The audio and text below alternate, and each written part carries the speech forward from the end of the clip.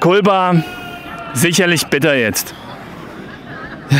Ja klar, wir haben äh, Spiel verloren, sind jetzt abgestiegen. Das äh, natürlich ist bitter. Ja. ja. also wir sind alle erstmal erstmal total platt. Ja, 120 Minuten, das bei dem Wetter, das, ist, äh, das steckt man nicht so leicht weg. Ähm, ja, und dann kommt natürlich noch so eine, so eine geistige Lehre dazu.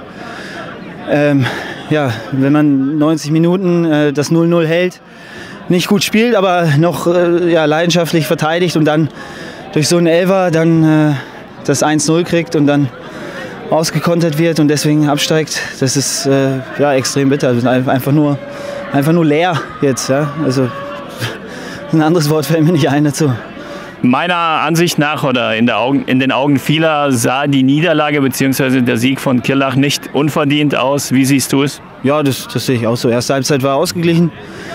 Da ja, haben wir uns irgendwie, haben beide Mannschaften sich ein bisschen abgetastet und dann in der zweiten Halbzeit ich weiß nicht, haben wir es irgendwie schlecht zugestellt bekommen. Wir haben, wir haben Riesenräume gelassen, haben nach vorne keine Entlastung mehr gehabt, weil wir, weil wir ja, riesen Wege gehen mussten auch.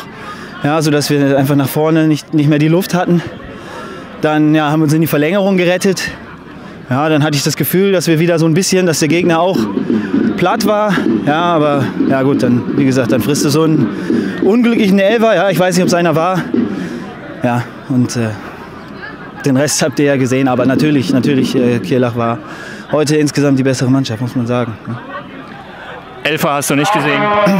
Ja, ich habe das Zustandekommen natürlich gesehen, ja, aber ob es einer war oder nicht, ja, ich habe ja keine Wiederholung oder sonst irgendwas. Aus meiner Sicht springt er aus drei Metern äh, an die Hand. Ja, natürlich hat er die Hand äh, hier oben, aber ja, ich meine, äh, aus meiner Sicht war es eine natürliche Bewegung, aber das kann man natürlich auch, kann man natürlich auch drüber streiten. Ja. Wie geht es jetzt für eure Mannschaft weiter? Was kannst du da schon sagen und wie geht es für dich weiter? Ja, also äh, ja, ich werde äh, beim TSV bleiben. Also, äh, und ähm, die meisten, so wie es aussieht, äh, auch. Also wir werden eigentlich äh, den, den, Kern zusammenhalten. Ein paar werden natürlich gehen, ein paar werden kommen. Wir werden jetzt äh, ja, Neuanfang sozusagen in der Landesliga machen, aber zum Glück nicht so einen Umbruch haben wie die letzten Jahre sodass wir ja, versuchen werden, einfach äh, ja, Stück für Stück äh, uns weiter zu verbessern und mal gucken, was dann nächstes Jahr in der Landesliga bei äh, rauskommt. Ja. Wiederaufstieg, direkter Wiederaufstieg angepeilt. Ist das äh, etwas, was äh, ihr euch als Ziel setzen werdet? Als, als Absteiger äh, ist es natürlich so, dass man gerne aufsteigen möchte, ja, aber man muss natürlich auch sehen, was man für Möglichkeiten hat, was, was, was für, für Gegner einem sich in den Weg stellen. Ja, und ich meine, es geht mit Mutschelbach eine, eine, eine Bombentruppe da in der Liga und noch ein paar andere. Von daher wird das auch sehr, sehr schwierig. Deswegen jetzt, von, jetzt direkt nach dem Spiel von, von, von Wiederaufstieg zu sprechen, wäre wahrscheinlich ein bisschen früh. Ja.